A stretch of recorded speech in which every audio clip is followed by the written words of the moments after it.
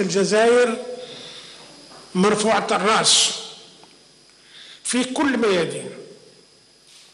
حافظنا على استقلالنا السياسي. حافظنا على الكلمة تاع الجزائر في المحافل الدولية.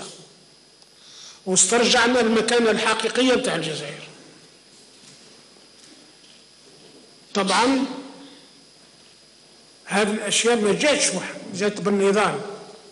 بالالتزام الرجال المخلصين في كل المستويات في البرلمان خارج البرلمان وهذا الشيء اللي قلق الأعداء الجزائر.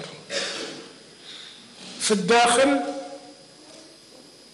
والامتداد نتاعهم من الخارج لما نسمع التصريحات وبصفة خاصة من طرف الناس اللي يمارسوا مسؤولية بلادهم قربا من الجزائر.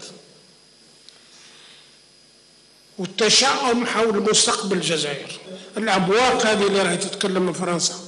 هذه تولهنا تنبهنا باش نجمد أكثر فأكثر ونلتزم أكثر فأكثر باش نواجه هذا النوع نتاع الاستعمار الجديد لا من خلال الإعلام ولا من خلال الثقافة ولا من خلال المعاملات هذه تاع المجموعات.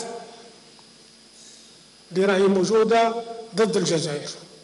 هذا وصوت اليوم أعضاء مجلس الأمة بالإجماع على مشروع القانون المتعلق بالوقاية من تبييض من تبييض الأموال وتمويل الإرهاب. الجلسة العلنية جرت برئاسة رئيس المجلس صلاح جوجيل وبحضور وزير العدل حافظ الأختام عبد الرشيد طبي ووزيرة العلاقات مع البرلمان بسمع زوار.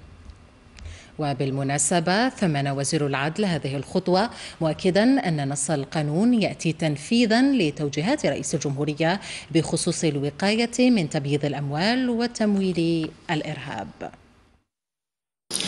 إن تصويتكم على هذا النص يؤكد عزم مجلسكم الموقر على وضع الآليات القانونية الكفيلة بحماية بلادنا من مختلف أشكال الإجرام وحرصكم على مواكبة الجزائر والتشريع الوطني للمستجدات الوطنية والدولية وتكييفه مع المعاهدات والاتفاقيات التي انضمت إليها بلادنا.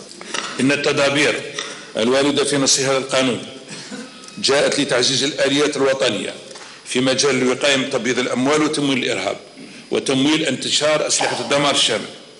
وستضمن النجاعة والفعالية لنظامنا المالي والرفع من فعالية الجهات المكلفة بالوقاية من هذه الجريمة ومحاربتها.